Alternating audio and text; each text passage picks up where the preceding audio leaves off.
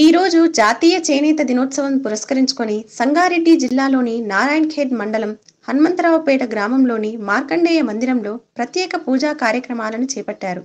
తొలుత స్థానిక ఆలయంలో భక్త మార్కండేయునికి పూజలు చేశారు. అనంతరం జాతీయ చేనేత దినోత్సవం సందర్భంగా భారీ ర్యాలీ సైతం నిర్వహించారు. చేనేతకు పుట్టినిల్లుగా నియోజకవర్గంలో హనుమంతరావుపేట గ్రామం ప్రసిద్ధి చెందింది. ఈ గ్రామంలో ఎనభై శాతం పద్మశాలికి చెందిన చేనేత కుటుంబాలే.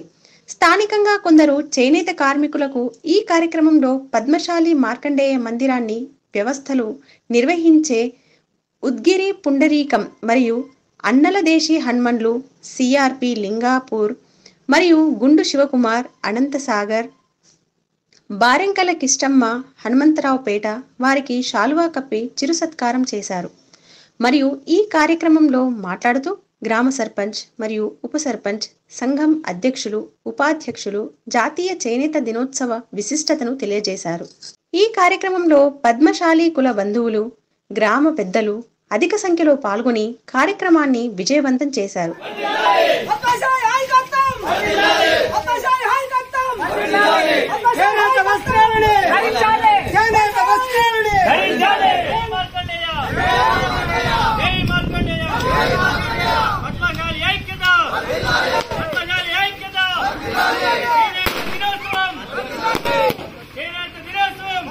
Hare